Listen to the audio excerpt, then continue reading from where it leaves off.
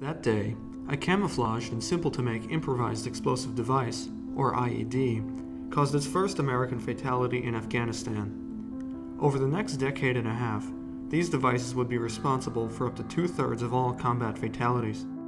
The problem with these IEDs was that they were near impossible to find with the untrained eye. JIDO, a DoD organization set up to develop counter IED measures, thus approached us with a proposition. Create a portable drone capable of detecting IEDs. Gaining understanding of the IED placement and avoidance workflow, we identified ground infantry units as the primary beneficiaries of our drone product. Upon specifying this, however, we soon ran into a major problem. The need for a drone did not exist.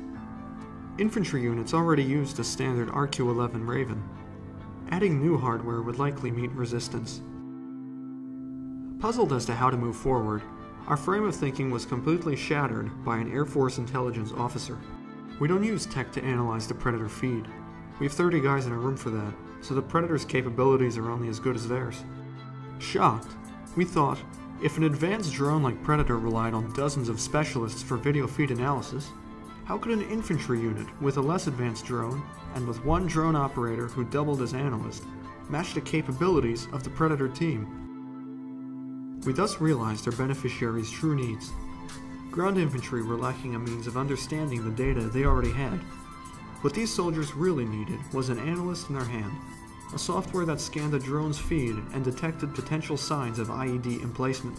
Understanding the enormous complexity of the problem, we limited our program to detecting anomalous potholes in disturbed Earth, ultimately creating a joint anomaly detection and machine learning algorithm we successfully are able to detect these signs, thus providing warning to the drone operator. Following this software approach, we've created a much more robust solution, capable of being scaled quickly for widespread deployment. Looking forward, we are working to further refine our software product because we are confident in its abilities to help in situational awareness, because we are proud to serve the needs of our troops, because we are hopeful the day will come when the IED threat is no more, because we are Xplomo